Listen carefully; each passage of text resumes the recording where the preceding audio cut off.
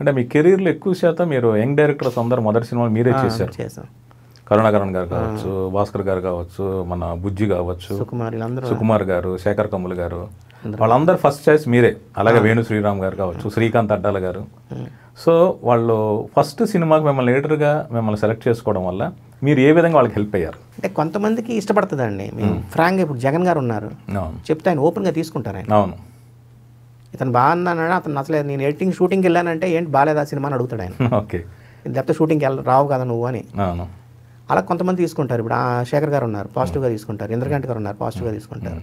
కొంతమంది తీసుకోరండి. ఇప్పుడు వేణు శ్రీరామ్ ఉన్నాడు. ఫస్ట్ సినిమా నాకు ఓ మై ఫ్రెండ్ నచ్చలా. అవును.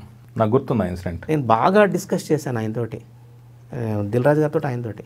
సార్ ఈ సినిమా ఆడదు సార్. వాళ్ళ ఫ్రెండ్స్లా లేరు సార్ వాళ్ళ లవర్స్లా ఉన్నారు సార్ అని నా బాధ. కరెక్ట్. నాకు నవదీప్ క్యారెక్టర్ తప్పు కాదండి. ఆ అమ్మాయి తప్పు కాదండి. వీళ్ళిద్దరు క్యారెక్టర్ తప్పు అండి అని అన్న. అది నచ్చక ఆయన రెండో సినిమా నాకు ఇవ్వలేదు నాకు అది నాకు మనం ఆ సినిమాకి పని చేసాం వాళ్ళ సినిమా నెక్స్ట్ ఇవ్వాలని మనం పని చేయమండి. అవును. మంది గుర్తుండిపోవాలనేదే నా లెక్క. బట్ ఓ మై ఫ్రెండ్ విషయంలో దిల్ రాజు గారు మాత్రం మీరు ఏదైతే అన్నారో అదే నిజమైనందుకు ఆయనకి మీ మీద చాలా రెస్పెక్ట్ పెరిగింది ఆయనకి. అని నాకు తెలియదు అని అనుకుంటున్నాను. అంటే జనరల్గా ఆయన సినిమాలు అంటే మేము చెప్తూ ఉంటామండి. ఇప్పుడు మిస్టర్ పర్ఫెక్ట్ ఉంది. మేము ఓపెన్గా చెప్పాం. ఫస్ట్ తీసిన వర్షన్ని ఆల్మోస్ట్ ఫార్టీ పర్సెంట్ రీషూట్ చేశారు మళ్ళీ. ఓకే. ఎందుకంటే మేము చెప్పాం సార్ ఎందుకు సార్ హీరో ఎందుకు సార్ అమ్మాయి ఎందుకు సార్ హీరోని ఇష్టపడాలి. హీరో ఎందుకు ఈ అమ్మాయిని ఇష్టపడాలంటే వాటికి అన్నింటికి మళ్ళీ సీన్లు చేసుకుంటూ వెళ్ళారు. ఓకే. రిలీజ్ ఆపి.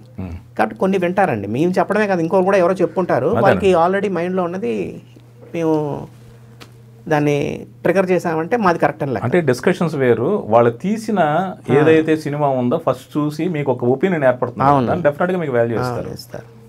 మీకు ఇన్నేళ్ళ కెరీర్లో మీకు ఎయిటర్ నుంచి డైరెక్టర్ ప్రొడ్యూసర్ కావాలని ఆలోచన ఎప్పుడు రాలేదండి?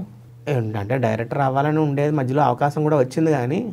కొంచెం పీరుకోవాలండి. ఎందువల్ల అండి చెప్పాలంటే ఎందుకు బాగుంది ఫీల్డ్ మళ్ళీ దీన్ని వదిలేసి వెళ్ళిపోయి. నా ఉన్న డైరెక్టర్లు అందరూ ఇతను డైరెక్టర్ అయిపోయాడు కదా మనం ఎందుకు అతను గీయడం అని అనుకుంటే ఓకే. అంటే ఎడిటర్ కన్నా డైరెక్టర్ అనే వాడికి ఎక్కువ పాపులారిటీ కానీ పరంగానే ఉంటుంది.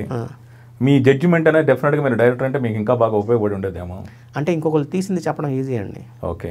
మనం మనం చేసింది చేయడం కష్టం అనేది నాకు తెలిసి కష్టం. ఓకే. కాబట్టి అది చెయ్యొచ్చు బట్ ఆ చిన్న భయం అనేది మనకు లైఫ్లో భయం. ఓకేనండి. ఫాదర్ని చూసాం బిఎస్ సుబ్బారావు గారిని లాస్ట్ డేస్ ఎలా ఉన్నాడో అంత అంత సంపాదించిన ఆయన ఏమైపోయాడో చూసాం. ఫాదర్ అన్ని సినిమాలు చేసినా పెద్దగా ఏం చేయలేదు. ఓకే. మళ్ళీ మనం ఏమవుతాం మనకు డిపార్ట్మెంట్ మనకు ప్రతి సంవత్సరం పదిహేను ఇరవై సినిమాలు జరుగుతున్నాయి. జరిగినప్పుడు దీన్ని మానేసి ఇంకో దానికి వెళ్ళడం ఎందుకు? ఆ చిన్న భయమే. ఓకే. దానివల్లే. ఫ్రాంక్గా చెప్పాలంటే అదే. అంటే మీ ఇంట్లో మీ అమ్మగారు మీరు రేటింగ్లోకి వస్తున్నప్పుడు ఏం వద్దని కానీ ఏమనలేదా అండి? లేదండి. మదర్ మదర్ చెప్పబట్టే నేను వెళ్ళాను. ఓకే. ఫాదర్ ఇలా తాగుతున్నారు. ఫాదర్ కొంచెం హెల్త్ కూడా పాడవుతుంది అని అంటే నేను వెళ్ళడం వల్ల మానేసేవారు ఫాదర్. ఓకేనండి. అది ఏంటంటే నాకు ఇష్టం లేకుంటే ఎలా వెళ్ళినా సరే.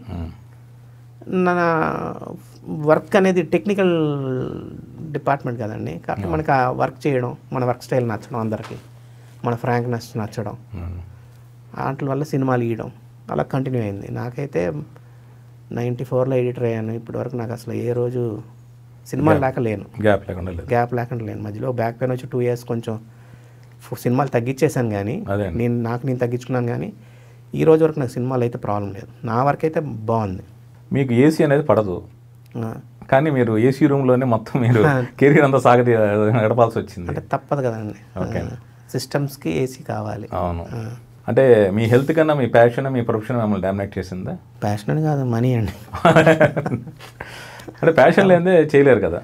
ప్యాషన్ అంటే అదే అండి. మరి మనం అదొక రోజుకు ఒక నాలుగు కథలు కొత్తగా డిస్కషన్లు కొత్త కొత్త కథలు చూస్తున్నాం. అవును. ప్రతి సీన్లు ఉంటాయి డిస్కషన్లు ఉంటాయి. అవి బాగుంటాయండి. ఓకే అండి. ఏదో రొటీన్ జాబ్ కాదు ఇది. కొత్త కొత్త డిస్కషన్లు ఉంటాయి కొత్త కొత్త నాలెడ్జ్ మనకి నేర్చుకున్నట్టు ఉంటుంది. ప్రతి సినిమా నేర్చుకున్నట్టే. అన్నీ వచ్చాను కాదు. ఇలాంటి ఇంట్రెస్టింగ్ వీడియోస్ కోసం తప్పకుండా మా ఛానల్ని సబ్స్క్రైబ్ చేయండి.